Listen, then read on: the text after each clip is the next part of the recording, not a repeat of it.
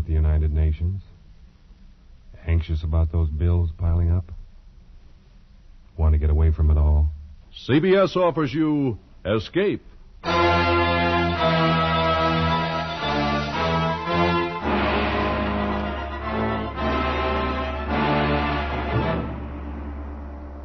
You are the victim of a native witch doctor, pursued from the west coast of Africa to the west end of London by the grinning face of a dead man. You are under the curse of a Porroh man. The Columbia Broadcasting System and its affiliated stations present Escape, produced and directed by William N. Robson and carefully plotted to free you from the four walls of today for a half hour of high adventure. Tonight, we escape to the dark lowlands of West Africa and the mind of a man who scoffed at native magic, as H.G. Wells paints it in his gripping story Pollock and the Porroh Man.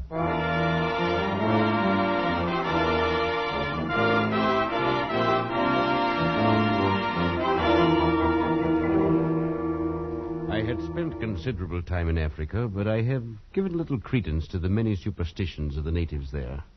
Voodoo curses, weird incantations of witch doctors, and the like had always seemed a pretty silly business to me. But that was before the affair of Pollock and the Porroh man. Even then, while the thing was happening, I took little notice. It was only when I got back to England some months later and went to see Pollock climbing up the three flights of stairs to his lonely bedroom that I began to realize the ghastly truth of it. One look at him was enough.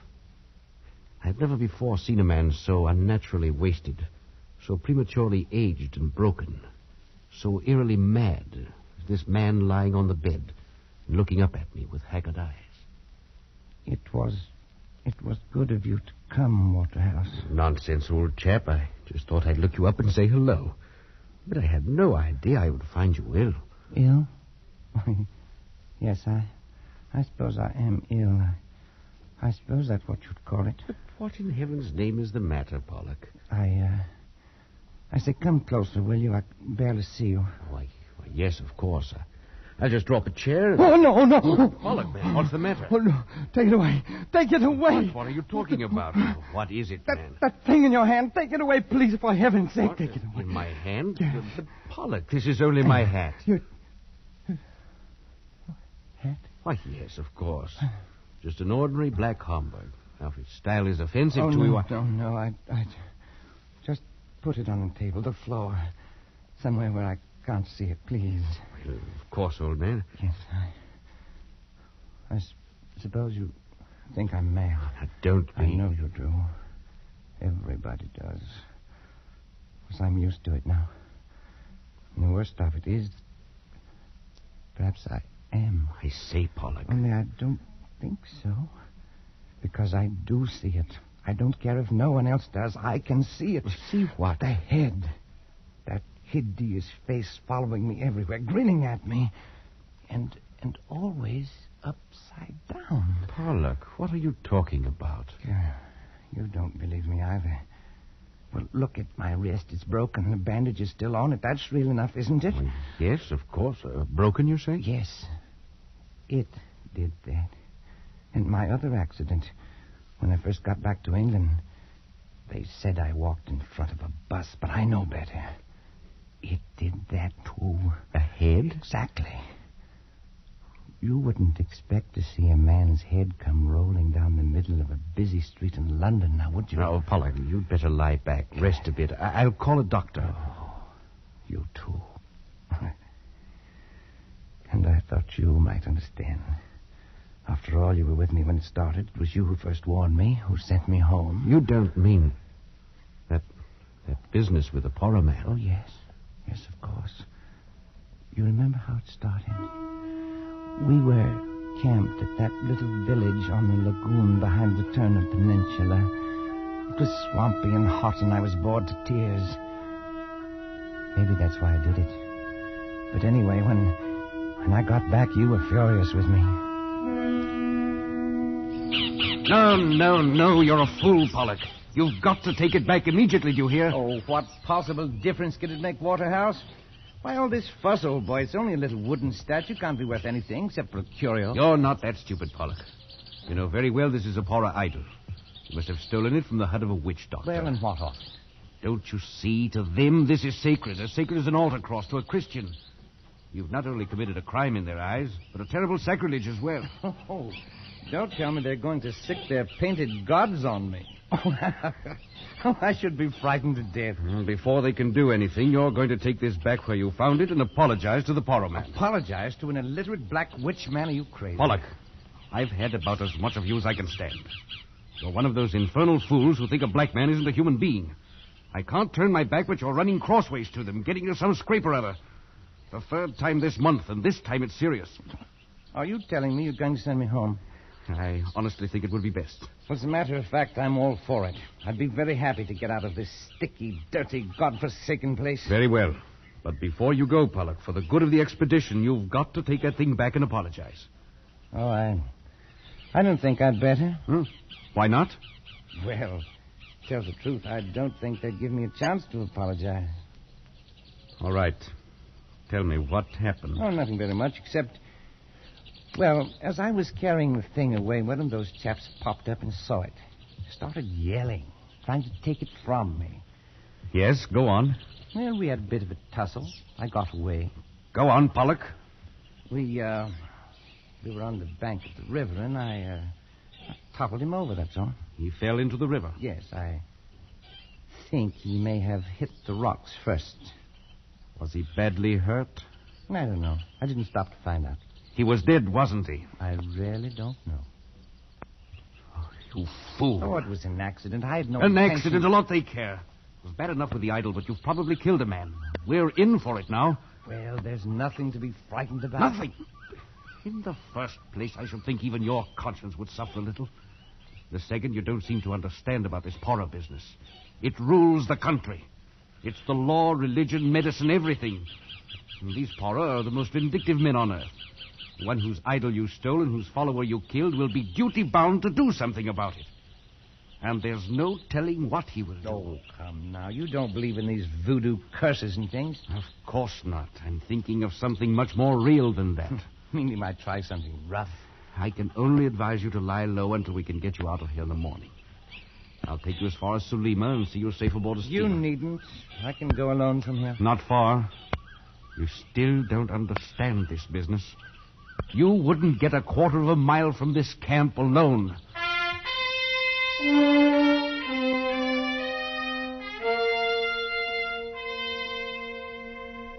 I. I still thought you were making a mountain out of a molehill waterhouse. But I must admit, I. I didn't sleep much that night. I lay there on the mat in my hut and listened to the sounds of the village. And then later to the noises of the of the night wakening jungle. Sometime after midnight I, I must have dozed off because I awoke with a start. For a moment I was confused, I sensed something wrong. And then, framed against the moonlight square of the door, I saw a hand upraised, and in it, a knife. Stop it! Stop or I'll shoot!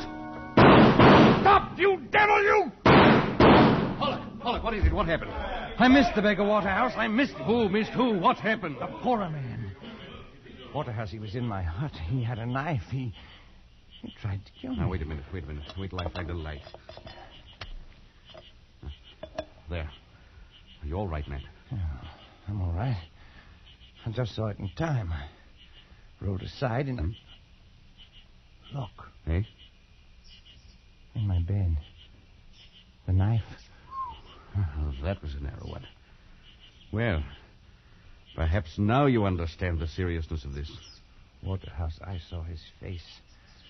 He stopped just at the door for a second. He was crouched down and he looked back at me from under his arm. His face was etched clearly in the moonlight. It. It was upside down. I'll never forget it. I- I'll get you a drink. Listen, Waterhouse, listen. He glared back at me with his painted face upside down and streaked with those hideous scars they cut in their cheeks. I see that in my dreams. Steady on, old man. Here you are. Drink this. Well, I. Waterhouse. Hmm? The idol's gone. I've just noticed the idol's gone. He took it. It's gone. Yes. Well, then it's all over. He got what he wants. He uh, won't bother me again, will he? I'm afraid there's more to it than that. But he's got the blasted idol back, and he he, he won't try it again. Oh, uh, will he? I've just noticed something too, Pollock. There's something here on the floor. One of your shots clipped off the tip of his little finger. It's too bad you aren't a better shot. Well, well, why?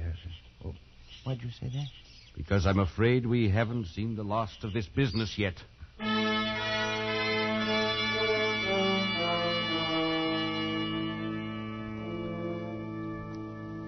You were more right than you knew, Waterhouse. The next morning was only the beginning. We were standing by the river and supervising packing. I'm glad we're getting out of here. There's something brewing, or things wouldn't be so quiet. Oh, what would be brewing? A stink in a copper pot, probably. Dancing in a circle of skulls, putting curses on you. Oh, that. What can he do? How the devil should I know? They're versatile people. They know a lot of rum dodges. The best thing to do. Look out! Oh, man, that was close. What, what was it? One of their beastly poisoned arrows in the tree behind you. Missed your head by inches. No. No. It came from over there in the bush. Well, let's let's do something. Let's chase him something. No use now. Never find him in there. Best thing for us to do is to get out of here quick.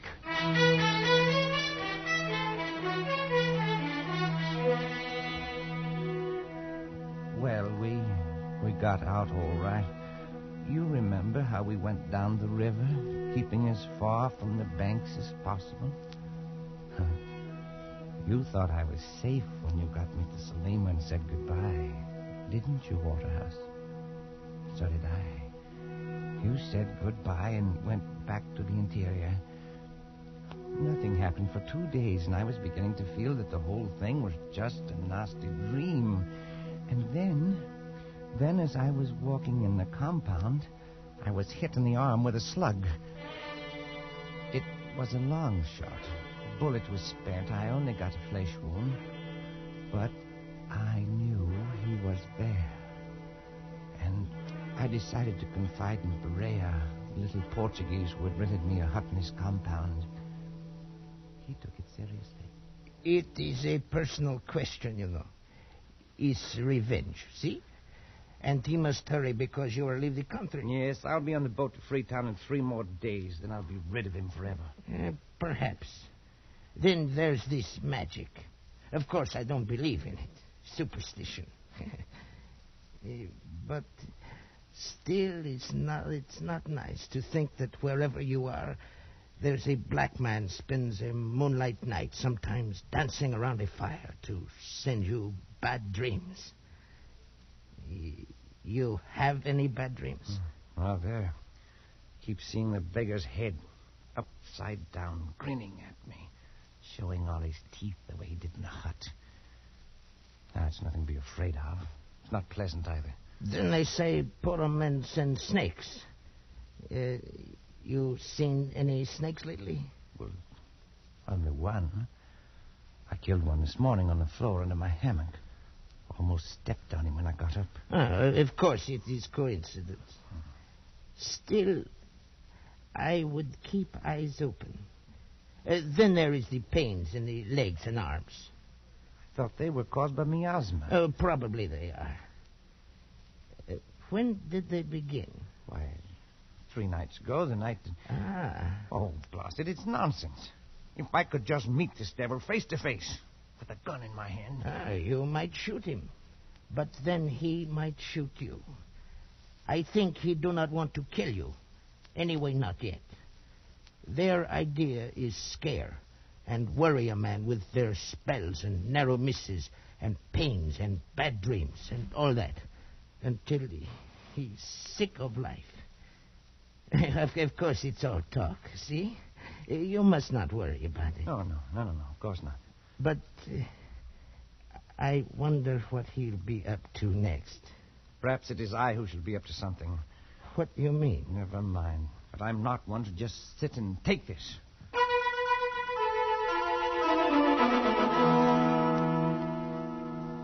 That very afternoon, I had a conversation with a roughneck Mendai tribesman I found there in Sulima. He showed me a little iron dagger and demonstrated how one struck at the back of the neck. He agreed to do the job for the price of a double barrel gun with an ornamental lock. I went back to Perera's, feeling better than I had in days.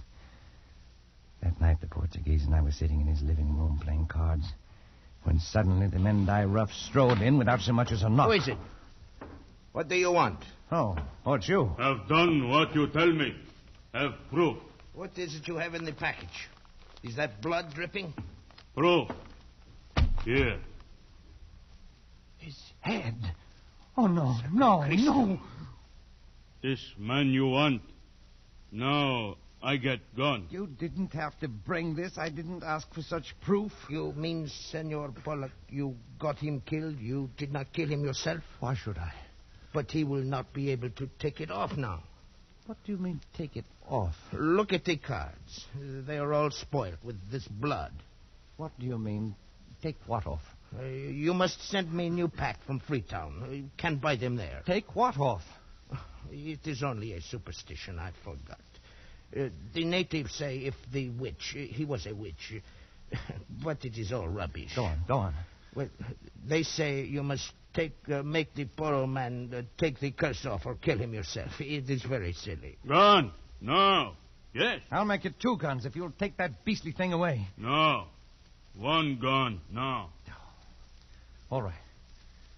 Perera, that gun you have for sale, give it to him. I have the money right here. Yes, yes. Over here. Now, take it and go. Thanks. It is funny how the head sits upside down. Just the way I saw him that night. Just the way I see him in my dreams. Like it was weighted that way. Uh, you will take him with you when you go. Maybe take him now. Uh, my cards are all spoiled. Uh, there is a man sells them in Freetown. You should have killed him yourself. Stop it. Stop it. Stop it!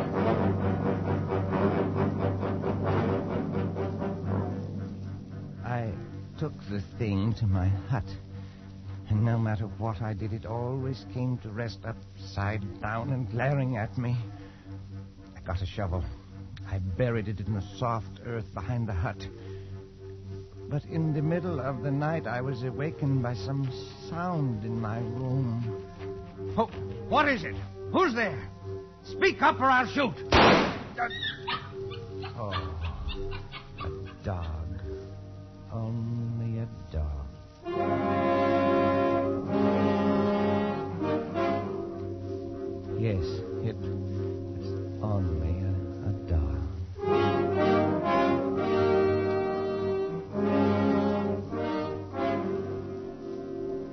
But in the morning, when I awoke and started to get out of bed, there it was, in the center of the floor, glaring at me upside down. It was uncanny until I remembered the dog. I found his paw prints in the dug up earth outside, and I knew how it got there. I took the thing down to the river. I threw it as far as I could into the current. At last I'd be it. That morning, I killed two snakes. But late in the afternoon, a little steamer arrived that would take me away from this insane land of the Porroh and Freetown and civilization. I had almost begun to feel gay as that boat carried me swiftly away from the shores of the Porroh land. At last I would be free, and soon I'd be back where Porroh and curses and nightmares would be forgotten. I was standing at the rail, sighing with relief, when the captain of the steamer, whom I'd met before, strolled up and began to make conversation. After the usual exchange of pleasantries, he said, I picked up a rum curio on the beach this go. It's a thing I never saw done this side of India before. Why is that so? Yeah, the head of one of these Porroh chaps, all ornamented with knife cuts. I say, what's the matter, old chap? You're green in the face. I wouldn't have took you for a bad sailor. Oh, I'm, I'm, I'm quite all right. Uh, well, this head I was telling you about is a bit queer in a way.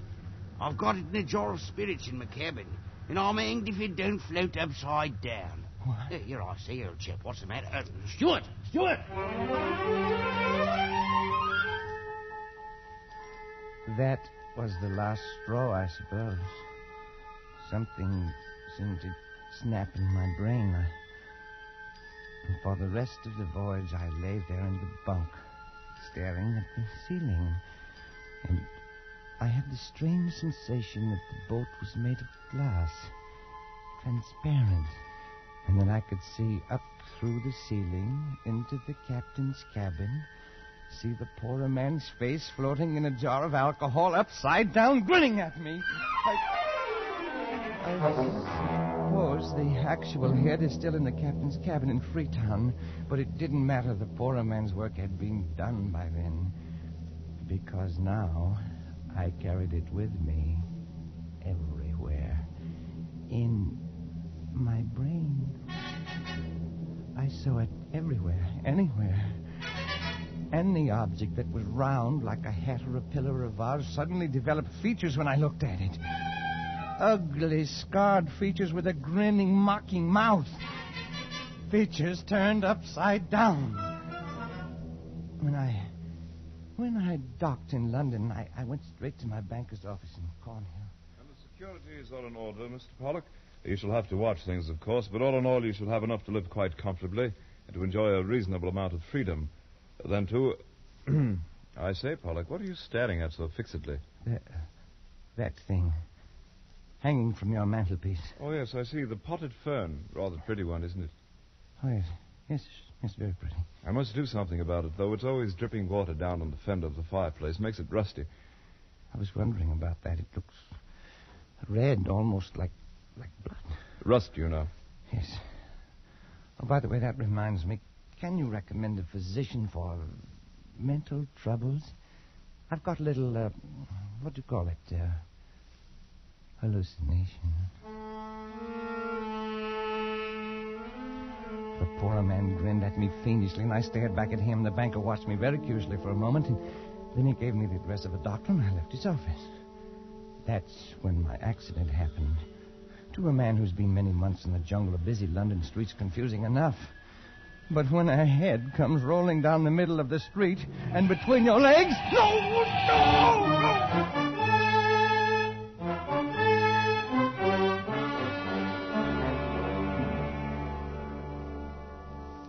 I was in the hospital for weeks. The only permanent injury, however, was the loss of the tip of my little finger. By strange coincidence, the same fingertip of the left hand that I'd shot off the Porroh man that first night. Well, even in the hospital, the Porroh man was with me all the time, everywhere. The doctors couldn't help me. My friends couldn't either. So I, I tried cycling in the country. But that thing kept rolling along beside me and getting tangled up in the wheels and spilling me. That's that's that's how I got the broken wrist. It uh, well the the worst came only last week. I'd just come back from a long walk, hoping to be tired enough to go to sleep. As usual, that bronze vase was over there in front of the big French window. And it. well, perhaps the Porroh man enjoys the view of the street three floors below. But anyway, this night, I felt little devil may care, so I turned round to it and I looked him in the eye and I said, So, you're still here, are you, my ugly shadow? Yes, Pollock. I'm still here. What? What? What did you say? I said I'm still here. And I always will be. No. No, no, not that too, not that. No. No, no, no, no.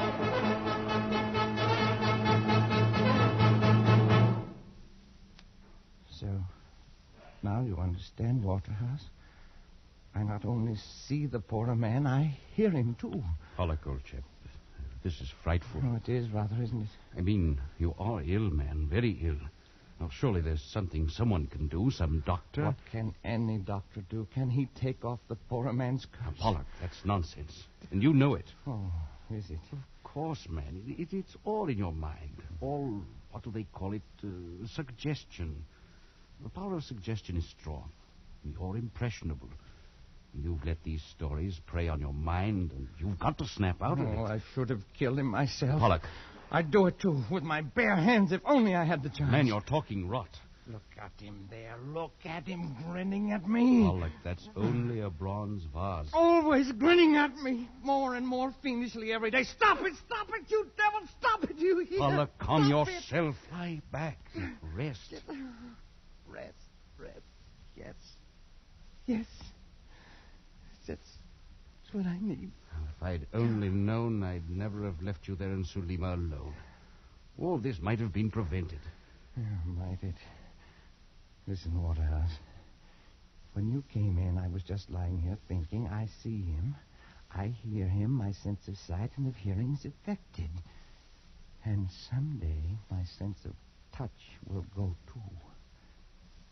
When it does, I know that will be the end.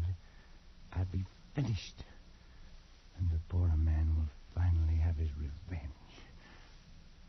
Won't he? Pollock, old man. When you came in, I was lying here, trying to get up the nerve to walk over there and make the test. And I'm going to do it. No, no, I I won't let you. You can't stop me, Waterhouse. Don't you see? I've got to. I can't go on like this. I've got to know. Have it over with. No, Pollock. It's beyond anything you can do. Stand aside. But stand aside, please.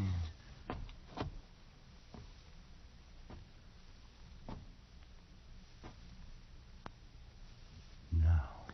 Come back to bed, Pollock. That window is open. If you have a. Never mind. This is just an ordinary bronze vase.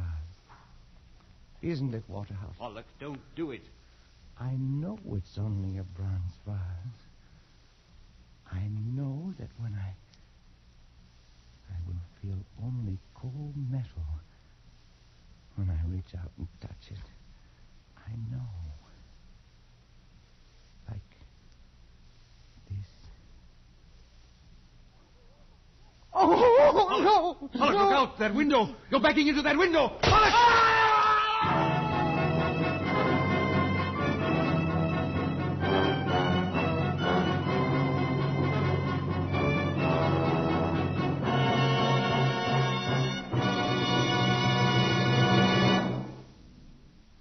Escape is produced and directed by William N. Robson, and tonight brought you Pollock and the Porroh Man by H.G. Wells, adapted for radio by John Dunkel, with Barton Yarborough as Pollock, Louis Van Rooten as Waterhouse, and Bill Conrad as Perera.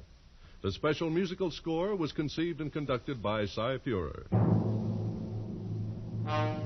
Next week,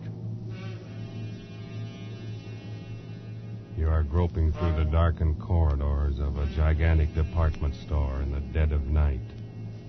And suddenly you realize you're not alone.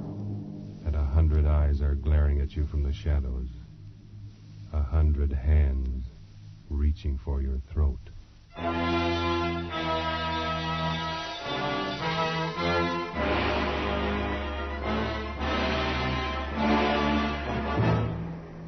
Next week, Escape with John Collier's eerie story, Evening Primrose. Good night, then, until this same time next week when CBS again offers you Escape. This is CBS, the Columbia Broadcasting System.